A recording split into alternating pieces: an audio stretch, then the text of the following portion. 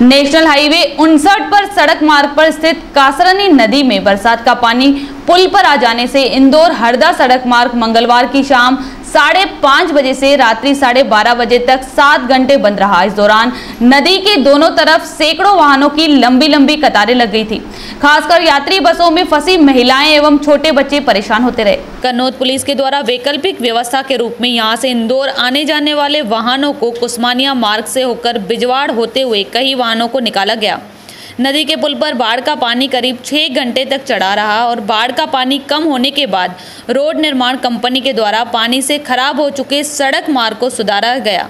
ज्ञात हो कि कसरनी नदी पर बरसात के मौसम में बार बार मामूली बरसात में ही बाढ़ का पानी पुल पर आ जाने से सड़क मार्ग अवरुद्ध होते रहने की समस्या बनी रहती है।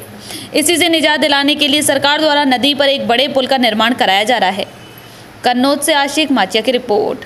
आपका नाम क्या है और आप कब से यहाँ पर खड़े हो? सर मैं पाँच घंटे से खड़ा हूँ मेरा नाम दिलीप राठौर है सर। अच्छा अच्छा। कहाँ पर? गाड़ी किस तरफ़ पड़ी है आपकी? कन्नौज तरफ़? इंदौर रोड से आ रही इंदौर से आ रही है सर। अच्छा अच्छा। कितने घंटे हो गए करीब करीब आपको? पाँच से छः घंटे लग गए सर। अभी नदी पे पानी है ऊपर? सर पानी थोड़ा सा ही है उतर चुका पर काम चल रहा है।